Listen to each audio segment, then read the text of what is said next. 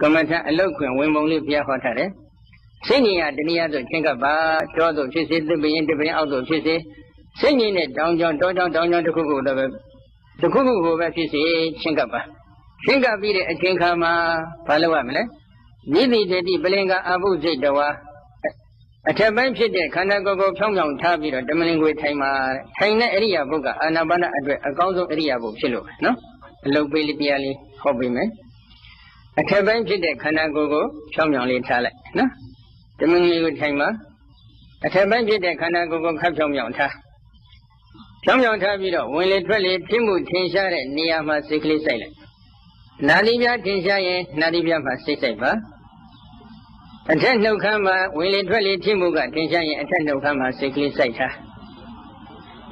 အကယ်၍နှာတိပြမှာနှစ်ပေါက်ရှိတယ်ထင်ရှားတယ်လို့ယူဆရတဲ့တစ်ပေါက်မှာစိတ်ကပ်လို့ရပါတယ် နှစ်ပေါက်သလုံးမှာကပ်ရင်လည်းမရဘူးတော့မဟုတ်ဘူးအာယုံနည်းနည်းပြတ်တတ်တယ်အဲဒါကြောင့်ပုံပြီးထိမှုထင်ရှားတဲ့တဏှာမှာစိတ်ကလေးစိုက်အထက်နှုတ်ခမ်းဖြစ်စေနှာတိပြတစ်ဖက်ဖက်ဖြစ်စေစိတ်ဆိုင်ထားပါစိုက်ပြီးတော့အဲ့ဒီမှာဝင်ဝင်လေထွက်ရင်ထွက်လေဒီလိုပဲရှုနေပါမမဖက်မနေနိုင်ဘူးဆိုရင်တော့ဒီအစစ်မှာဝင်လေထွက်လေလို့မှတ်ပါမမဖက်နေနိုင်တယ်ဆိုလို့ရှိရင်တော့မမှတ်ပါနဲ့စိုက်တာကြည့်နေပါ ပရမဇန်အထိတော့မှတ်ခွင့်ရှိပါတယ်တိုးတော့ပရမဇန်ကိုကြော်သွားပြီဆိုလို့ရှိရင်တော့ထိုဘုတ်ကိုမှတ်နေမယ်ဆိုရင်ဇန်ကပြန်ပြန်ပြီးရှော့ကြတတ်တယ်အဲ့ဒါကြောင့်ဝင်ရင်ဝင်လေထွက်ရင်ထွက်လေဒီလောက်ပဲရှုနေပါမမဖက်မနေနိုင်ရင်လည်းဝင်လေထွက်လေဒီလောက်ပဲမှတ်ပါအဲဒီလိုမှတ်နေရဝင်လေထွက်လေအာယုံအပေါ်မှာငြိမ်ဝက်စွာကပ်ပြီးကြည်နေအောင်ကြိုးစားပါဒါကိုမြတ်စွာဘုရားကတော့တတောဝအတ္တတတိတတောဝပတ္တတတိ ဘောဓယောဂီပုဂ္ဂိုလ်တိတတောဝတတိရှိတိဖြစ်လေသလင်အတ္တတတိဝင်လေကိုဖြစ်စေ၏တတောဝတတိရှိတိဖြစ်ဝေသလင်ပတ္တတတိထွက်လေကိုဖြစ်စေ၏ဒီလိုဟောထားတယ်တတိမြဲပုံကိုမြတ်စွာဘုရားဝင်လေမှာ16မျိုးထွက်လေမှာ16မျိုးဟောထားပါတယ်အဲ့တော့ဝင်လေထွက်လေမှာ16မျိုးစီဟောထားတဲ့အတွက်ဒီနေ့ယောဂီပုဂ္ဂိုလ်များကိုဘုန်းကြီးကအဲ့ဒီ16မျိုးတွေကပထမအဆင့်ဖြစ်တဲ့၄မျိုးကိုဟောဖို့ရည်ရွယ်ထားပါတယ်တိုးတော့၄မျိုးလုံးဟောဖို့အချိန်မရဘူးနော် အချိန်မရတဲ့အတွက်အဲ့ဒီ၄မျိုးကိုမသွားမီလေးမှာပြည့်ရမယ်ကျင့်ဝတ်ပฏิပတ်ကလေးတတိမြဲအောင်ကျင့်ပုံလေးပဲဒီနေ့ဟောလို့ရမယ်အဲ့ဒီဝင်လေထွက်လေထိတဲ့နေရာလေးမှာစိတ်ကလို့ဝင်ဝင်လေထွက်ရင်ထွက်လေလို့ဒီလိုရှုနေလို့စိတ်ကမမြဲဘူးစိတ်ကထွက်နေသေးတယ်ဆိုရင်တော့အထာဂရဆရာတော်များကရေတွက်တဲ့နည်းလေးကိုအသုံးပြုပါဆိုပြီးဒီလိုညွှန်ကြားထားတယ်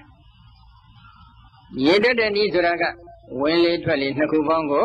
1ဝင်လေထွက်လေ2ဝင်လေထွက်လေ3 ဝင်လေထွက်လေ4ဝင်လေထွက်လေ5ဝင်လေထွက်လေ6ဝင်လေထွက်လေ9ဝင်လေထွက်လေ10တော်ပြီမဂ္ဂင်၈ပါးကျင့်ဝတ်တရားတွေကိုပူဇော်သောအဖြစ်တိတ်ကနေရှိအထိရည်အတွက်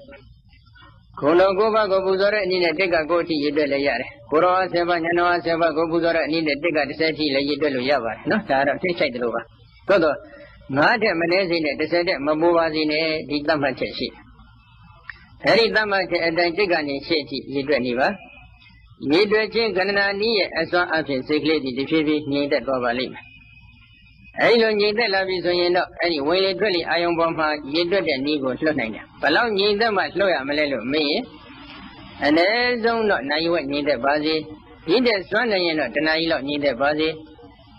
တဏှာကြီးလောက်ငြိမ်သက်မှရည်တွက်တဲ့နည်းကိုလွှတ်ပြီးတော့ဝင်လေထွက်လေဒီလိုရှုရမှာဖြစ်ပါတယ် အဲဒီတော့တဏှာကြီးလောက်မငြိမ်သေးပဲနဲ့သို့မဟုတ်နိုင်ဝက်လောက်တောင်မှမငြိမ်သေးပဲနဲ့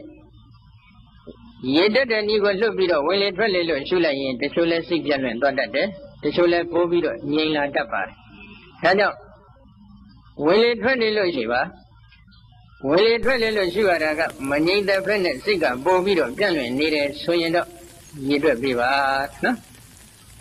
တိတ်ကနေရှေ့ထိတာရည်တွက်နေပါအဲဒီလိုရည်တွက်တဲ့အပိုင်းမှာလဲ ဘယ်နှခေါက်ရပြီဆိုတာမရည်တွက်နဲ့တိတ်ကနေရှေ့ထိငါစိတ်ဘယ်မှမထွက်စေရလို့စိတ်ကလေးခပ်ပြင်းပြင်းထားပြီးတာရည်တွက်နေခပ်တင်းတင်းထားပြီးတာရည်တွက်နေပါနောက်တကလည်းတိတ်ကရှိအထိငါစိတ်ဘယ်မှမထက်စီရဒီလိုသာရည်တွက်နေတော့အဲဒီလိုရည်တွက်ပါများလာပြီဆိုလို့ရှိရင်တော့ရည်တွက်ခြင်းခန္ဓာနည်းရဲ့စွမ်းအင်ကြောင့်စိတ်တည်ငြိမ်တဲ့ငြိမ်လာပါလိမ့်မယ် အဲဒီလိုငြိမ်လာပြီဆိုရင်တဏှာကြီးနှစ်နာရီလောက်ငြိမ်တဲ့အထိဆက်လက်ပြီးတော့ပဲလေ့ကျင့်ပါလို့ဒီနေ့တိုက်တွန်းပါတယ်နော်ကဲဆက်တန်ထိုင်ကြပါနော်ဆက်တန်ထိုင်ကြပြီ